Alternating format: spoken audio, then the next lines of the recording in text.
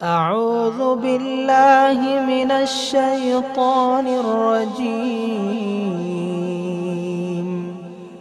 بسم الله الرحمن الرحيم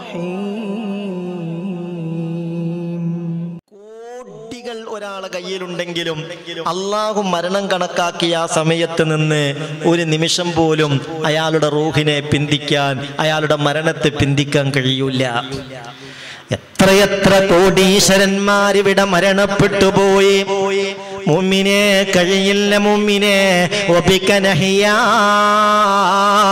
പ്രഭാതത്തിൽ തന്നെ തീർത്ത് പടച്ച റബ്ബിനോട് പറയുകയാണ് നിന്നെ കൊണ്ടാണ് ഞങ്ങൾ ജീവിക്കുന്നതല്ല. ഒപിക്കനമൂത്തു മരണവും നീ തീരുമാനിക്കുന്ന സമയത്തായിരിക്കും. അങ്ങനെയാണ് الموت باب وكل الناس داخله يا ليت شعري يا بعد الباب ما الدار والدار دار نعيم من عملت بما يرضى الإله وإن خالفت فالنار صل مولاي صل وسلم دائما ابدا على حبيبك خير الخلق كلهم നമ്മളിൽ ഓരോരുത്തരുടെയും മരണം കണക്കാക്കപ്പെട്ടൊരു സമയമുണ്ട്. ഈ സമയത്ത് ഇത് കേട്ടുകൊണ്ടിരിക്കുന്ന പതിനായിരക്കണക്കിന് മോമിനിങ്ങളെ നമ്മുടെ കൂട്ടത്തിൽ ഇനി ആരാ ആദ്യമായി മരണപ്പെടുന്നത് എന്ന് നമുക്കറിയുമോ? ഇല്ലല്ലോ. ഇല്ലല്ലോ നാളെ ഒരു പക്ഷേ നാലര മണിക്ക് ഇങ്ങനെ ഒരു മജിലിസ് അള്ളാഹുവേ അതിൽ ഒരുമിച്ചുകൂടാ നമ്മുടെ കൂട്ടത്തിൽ ആർക്കൊക്കെ അവസരമുണ്ടാകും പറയാൻ കഴിയോ? കഴിയില്ലല്ലോ നാളെ ഒരു പക്ഷേ ഈ സമയമാകുമ്പോഴത്തേക്ക് എന്റെ മയ്യത്ത് കുളിപ്പിക്കൽ കഴിഞ്ഞിരിക്കാം. എന്റെ മയ്യത്ത് കഫൻ ചെയ്തിരിക്കാം. എന്റെ മേൽ മയ്യത്ത് നിസ്കാരം കഴിഞ്ഞിരിക്കാം. ആളുകൾ കെട്ടിപ്പൊതിഞ്ഞെന്നെ കൊണ്ടുപോയി കബർസ്ഥാനിലേക്ക് കൊണ്ടുപോയി എന്റെ മയ്യത്ത് കബറിലേക്ക് താഴ്ത്തി. എല്ലാ പണിയും കഴിഞ്ഞ് ഒരു പക്ഷേ ചോദ്യം നടക്കുകയായിരിക്കാം. എടോ മറബുക്ക നബിയുക വമാ ദീനുക വമാ ഖിബ്ലതുക ഇല്ലെന്ന് പറയാ സഹോദരാ സഹോദരി നമ്മുടെ കൂട്ടത്തിൽ ആർക്ക് കഴിയും കഴിയും? അതിലേക്കു രണ്ടു മാലക്കുകൾ ഉണ്ടെന്നതും മുൻകറിന് കീറന്നാണ് നാമം എന്നതും കണ്ടാൽ വിറക്കും രൂപമാണവർക്കുള്ളതും എന്നും ഹദീസിൽ തന്നെയാ പറയുന്നതും. റബ്ബേതു നബിയേ ദാണ് ദീനും ഏതാ? ചോദ്യം ഇതാണതിനുത്തരം ചെയ്യേണ്ടതാണ് അതിലേക്കു രണ്ടു മാലക്കുകൾ ഉണ്ടെന്നതും മുൻകറിന് കീറന്നാണ് നാമം എന്നതും കണ്ടാൽ വിറക്കും രൂപമാണവർക്കുള്ളതും എന്നും ഹദീസിൽ തന്നെയാ പറയുന്നതും. റബ്ബേതു നബിയെ ദാനിദീനും മേധാ ചോദ്യം ഇതാണതിനുത്തരം ചെയ്യേണ്ടതാണ് നമ്മുടെ കൂട്ടത്തിൽ ഇനി ആരാണ് കബറാളിയായി മാറുന്നതെന്ന് നമുക്കറിയില്ല. നമ്മൾ ഈ ധരിച്ച വസ്ത്രം നമ്മൾ തന്നെയാണോ അഴിച്ചു മാറ്റേണ്ടത് നമുക്കറിയില്ല. ചുരുക്കത്തിൽ സഹോദര സഹോദരി ആ ഒരു ചിന്ത എപ്പോഴും നല്ലതാണ് ഏയ് ദിവസത്തിൽ ഒരു ഇരുപത് തവണയെങ്കിലും ഞാൻ മരിക്കുമെന്ന ചിന്ത നിങ്ങളുടെ മനസ്സിൽ കടന്നു വരേണ്ടതാണെന്ന് അഷ്റഫുൽ ഹൽക്ക് മുഹമ്മദ് മുസ്തഫ.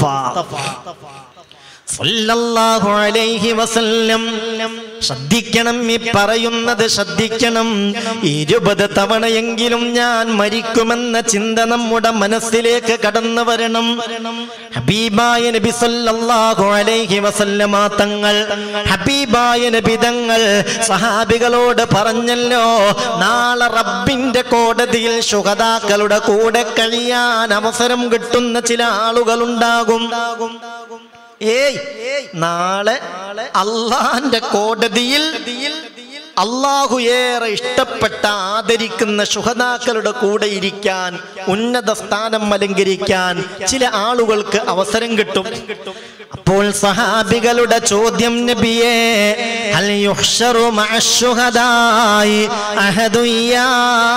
റസൂലല്ലാഹ്.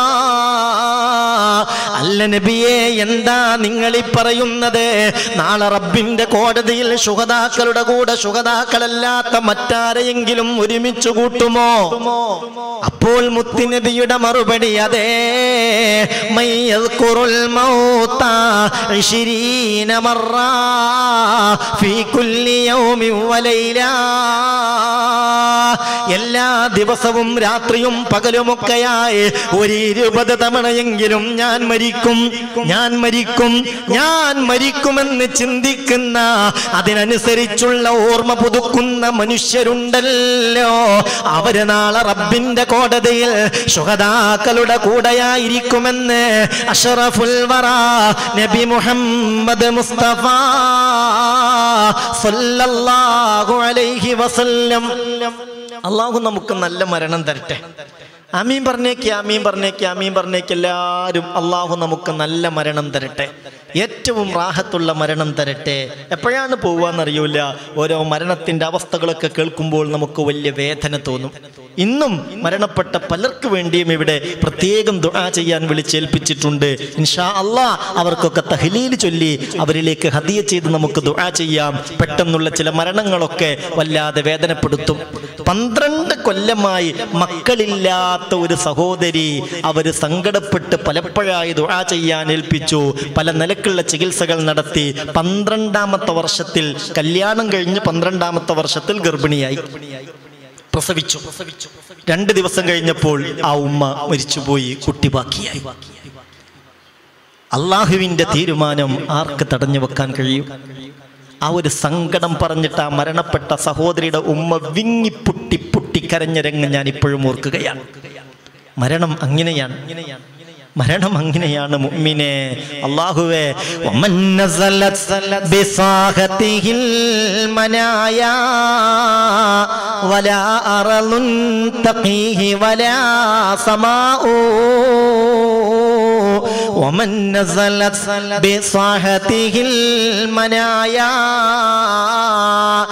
ഒരാൾക്ക് അള്ളാഹു മരണം കണക്കാക്കിയാൽ ഒരാളെ തേടി മലക്കുൽ മൗത്ത് വന്നാൽ വലാ അറലുൻ തഖീഹി വലാ സമാഉ അതിൽ നിന്ന് അയാളെ തടയാൻ ആകാശത്ത് ഭൂമിക്ക് ഭൂമിയിൽ ഒരാൾക്കും സാധ്യമല്ല അപ്പൊ ഈ ഒരു ഓർമ്മ ഈ ഒരു ചിന്ത നമ്മളിൽ ഉണ്ടാവണം അതുണ്ടാക്കുന്ന ദിക്കറാണ് അള്ളാഹുമ്മ ബിക അസ്ബഹ്നാ وبك أمسينا وبك نحيا وبك نموت وإليك النشور അള്ളാഹുമ്മ അള്ളാഹുവേ വികാസ് ബഹന നിന്നെ കൊണ്ടിതാ ഞങ്ങൾ പ്രഭാതത്തിലായിരിക്കുന്നു. ലോകത്ത് അള്ളാഹുവല്ലാത്ത എല്ലാവരും കൂടെ വിചാരിച്ചാൽ ഒരു പ്രഭാതമുണ്ടാക്കാൻ കഴിയുമോ സഹോദര സഹോദരി? കഴിയോ കഴിയോ? നമ്മൾ റബ്ബിനോട് പറയാണ് നിന്നെ കൊണ്ടാണ് റബ്ബെ ഞങ്ങൾ പ്രഭാതത്തിലായിട്ടുള്ളത്. ഉറപ്പല്ലേ? അസ്തമിച്ച സൂര്യനെ തിരിച്ചു കൊണ്ടുവരാൻ ആർക്ക് കഴിയും? ഒരു ദിവസം സൂര്യൻ അസ്തമിച്ചു എന്ന് സങ്കല്പിക്കും. സൂര്യൻ അസ്തമിച്ചു ഇന്ന് രാത്രി നമ്മൾ വയലൊക്കെ കഴിഞ്ഞു മകരിബ് നിസ്കാരം ആയി സൂര്യൻ അസ്തമിച്ചു മകരിബ് നിസ്കരിച്ചു അങ്ങനെ ചെല്ലാള ദിക്കറും കാര്യങ്ങളൊക്കെ ചൊല്ലി ഇഷാവ് നിസ്കരിച്ചു ഭക്ഷണം കഴിച്ചു നമ്മൾ കിടന്നു.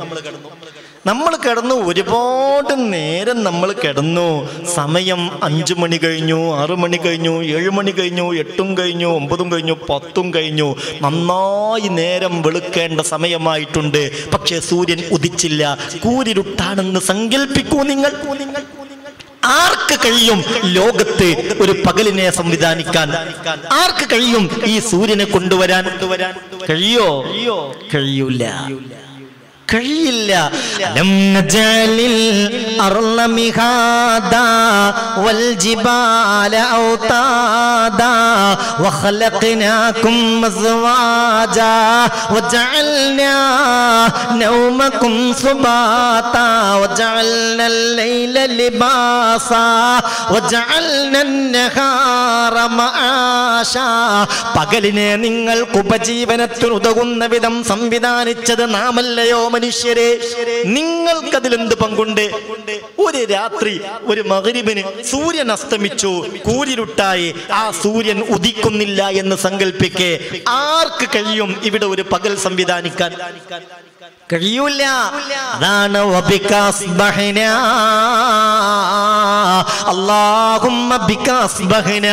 അല്ലാഹുവേ നീയാണ് ഞങ്ങൾക്ക് പ്രഭാതം തന്നത്. നിന്നെ കൊണ്ടാണ് ഞങ്ങൾ പ്രഭാതത്തിലായത്. ഇനി പ്രദോഷം കടന്നു വരുന്നുണ്ട്. നിന്നെ കൊണ്ടാണത്. ഈ അസ്തമിച്ച സൂര്യൻ ഈ ഉദിച്ച സൂര്യനെ ഒന്ന് അസ്തമിപ്പിക്കാൻ ഒരു രാത്രിയെ കൊണ്ടുവരാൻ ലോകം മൊത്തം വിചാരിച്ചാൽ കഴിയുമോ സഹോദര? കഴിയുമോ സഹോദരി? ശാസ്ത്രം ഒരുപാട് പുരോഗതി പ്രാപിച്ചിട്ടുണ്ട്. ശരി ശരി. ശാസ്ത്രലോകം മൊത്തം വിചാരിച്ചാൽ ഒരു രാത്രിയെ സംവിധാനിക്കാൻ കഴിയോ? അള്ളാഹു വിചാരിച്ചു ഈ ഉദിച്ച സൂര്യൻ ഇന്നവിടെ നിൽക്കട്ടെ അസ്തമിക്കുന്നില്ല എന്ന് വിചാരിച്ചാൽ ആർക്ക് കഴിയും ഒരു രാത്രിയെ സംവിധാനിക്കാൻ? അതുകൊണ്ട് റബ്ബിനോട് അത് ഏറ്റ് നമ്മുടെ വിശ്വാസത്തെ ഉറപ്പിക്കുന്ന നിലയിൽ പറയുകയാണ്. പ്രഭാതത്തിലാകുന്നത് നിന്നെ കൊണ്ടായതുപോലെ പ്രദോഷത്തിലാകുന്നതും നിന്നെ കൊണ്ടാണ്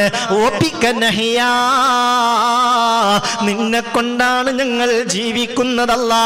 ഒപ്പിക്കനമൂത്തു മരണവും നിന്നെ കൊണ്ടാണ് നീ എപ്പോഴാണോ ഉദ്ദേശിക്കുന്നത് അപ്പോഴാണ്. അങ്ങിനെ വൈലൈ അങ്ങനെ വൈലൈക്കന്നുഷൂർ ഞങ്ങളുടെ മടക്കമല്ലാകുവേ നിന്നിലേക്കാണ് പുനർജന്മവും നിന്നിൽ നിന്നാണ്. അങ്ങനെ പരലോകത്തെ കുറിച്ചുകൂടി ചിന്തിപ്പിക്കുന്ന അതിപ്രധാനപ്പെട്ടൊരു വചനമാണിത്. ഇൻഷാ അള്ളാ എന്റെ പ്രിയപ്പെട്ട സഹോദരി സഹോദരന്മാരോട് ഓർമ്മപ്പെടുത്തുകയാണ്. ഇതൊക്കെ ജീവിതത്തിന്റെ ഒരു ഭാഗമാക്കി മാറ്റണം. ഇതൊക്കെ നമ്മൾ പതിവാക്കിയാൽ അതിനനുസരിച്ചുള്ള ഒരു ഊർജം ഈമാനിക ഊർജം നമുക്കൊക്കെ ലഭിക്കും. അള്ളാഹു തൗഫീക്ക് നൽകട്ടെ.